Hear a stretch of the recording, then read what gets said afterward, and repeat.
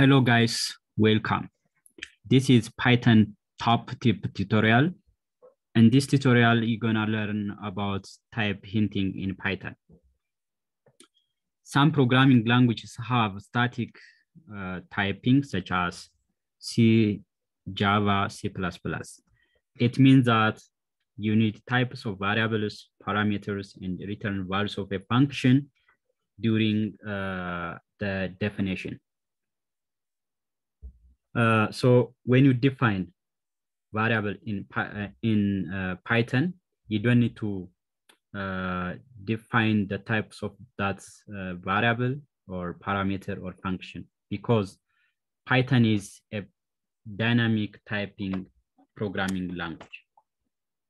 A dynamically typing programming language means that you never have to explicitly define or indicate what kind of types uh, the variable has and what kind of types the function returns. The interpreter going to interpret or uh, determine uh, based on the input of the data and reserve a space in memory. If you input if you use the same variable, for example, x, and you define, uh, you input different inputs uh, for the same variable, ax, the interpreter going to determine both uh, types of data because it is a dynamic typing uh, Python uses dynamic typing in which variables, parameters, and return values of a function can be any type. Python's uh, type hints provide you with optional static typing to leverage the best of both static and dynamic typing. So that's why this uh, type hinting comes in handy because we wanna leverage static typing, we can use type hinting. Type hinting is a formal solution to statically indicate the type of a value within your Python code. For example, in C++, once you define the type of that variable, you never change the values of the uh, that variable. But in Python, you can define you can declare any variable or para parameters, but you can input any type of data into that variable. It doesn't matter. Uh, but uh, this type hinting will formally uh, help you to indicate the type of the values that you're going to input into that uh, parameter or uh, variable. That will help to give you hinting so uh, this type hinting was specified in PEP 484. This is a standard of Python programming. You can use, uh, you can read, there are any standard, any styling are available in this. And this type hinting was introduced in Python 3.5 and above.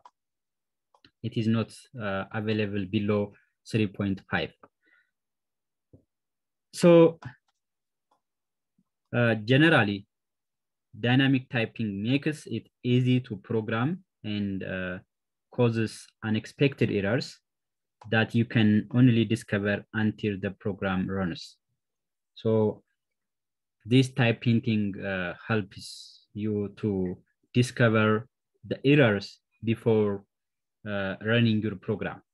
For example, you if you wanna input but the type of the data uh, is uh, different than the the the the variable or the parameter that's going to accept. So we can uh, pre-indicate the type of that value before going to run the programs.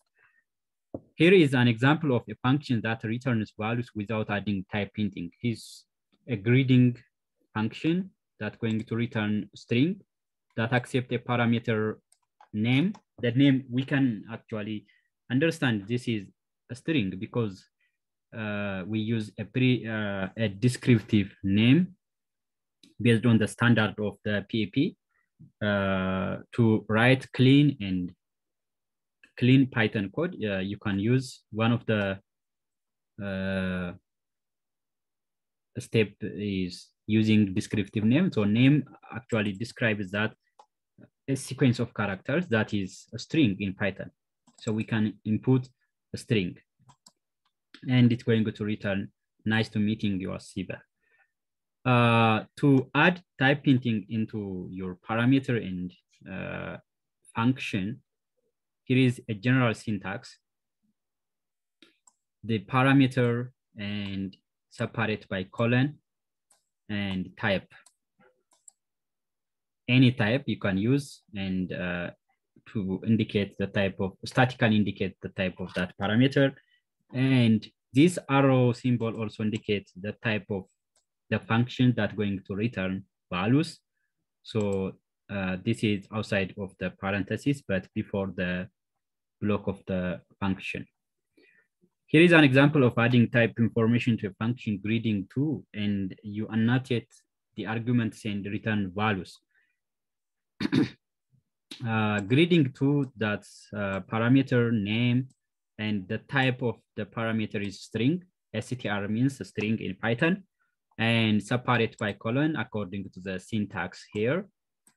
And this is uh, indicating that the type of the function that going to return so this returns the parameter accepts a string as well as the function returns a string. This is for function and this one is for uh, parameter. So the name colon str uh, indicates that the name argument should be of type string. And uh, this arrow syntax with uh, str is uh, indicates that the greeting2 this function uh, will return a string, a string. So we can annotate the parameters by adding type hinting. So uh, I can easily understand that before running this program, this parameter accepts a string and the function going to return a string. So I can easily uh, understand and it helps me to, uh, by giving hints of the parameters and the functions that's going to accept what kind of information. Okay, let's click on run test. That's going to return the same result like the above one. Uh, you can also use other built-in types such as int, float, bool, etc. Not only uh, this, you can also uh, use built-in data structures like list, dictionary, um, set, tuple, etc.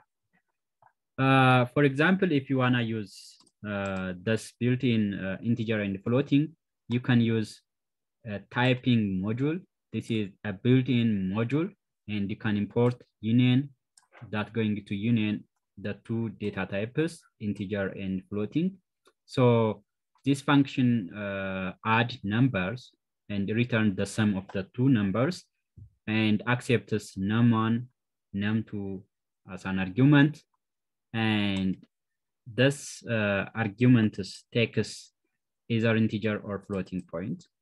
So we can annotate uh, the parameters by adding type hinting. So this is hint, so we cannot uh, input other types uh, string because we know that uh, those variables accept, those parameters accept uh, integer and floating only.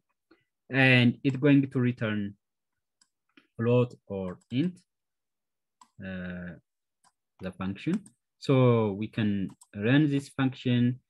Uh, the first parameter accept integer, the second parameter accept uh, float, and the result would be floating point. And uh, you can change any one For example, you can change the values and the output going to be changed as well. So this is the way how you can use type hinting uh, to easily indicate, statically indicate uh, the type of the data, the type of the parameters that the function going to return as well. Here is another example of the function returns a text string into headline by adding proper capitalization in a decorative line.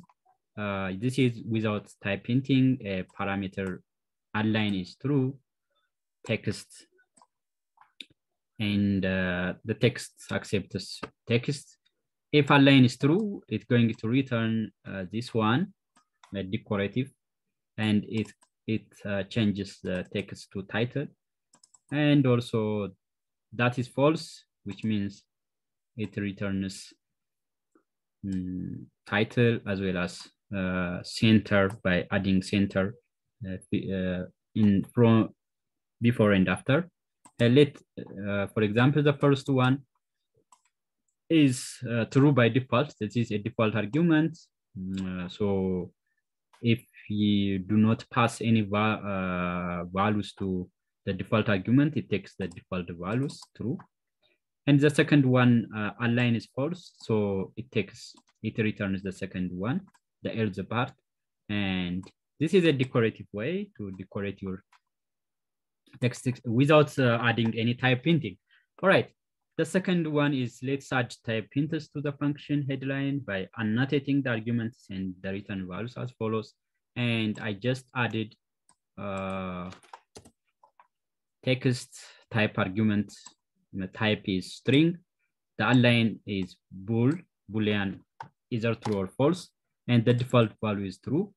And the function going to return a string by annotating the type of the function. If align is true, then it returns this one, else align is false, it returns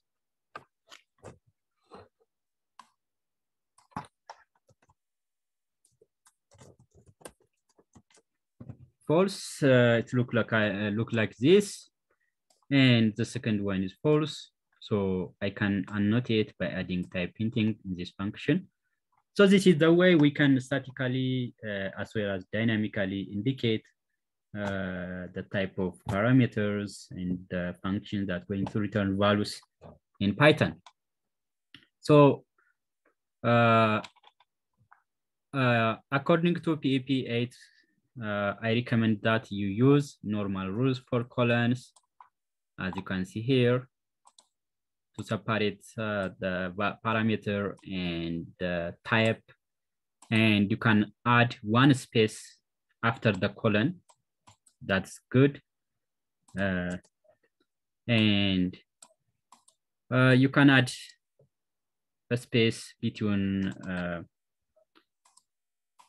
this one assignment and values and you can use a space one space after this that's uh, the styling in PEP8 tells us use normal rules for colon that is no space before and one space after a colon no space before this no space before but if you space uh, i mean uh, one space after the colon. That's good styling. Use a space around assignment. Yeah, both sides. That is uh, PEP styling uh, to write clean code when combining an argument annotation with a default value like align, one space after colon, and both space between assignment and value. Use a space around this you can use space like this. So this is styling and this is today's lesson about type hinting. So type hinting is one of uh, statically indicating the type of your uh, parameter and the function as well as uh, dynamic uh, typing. So it is best thing you can adding uh, type hinting uh, when you write your Python code. Thanks for watching today.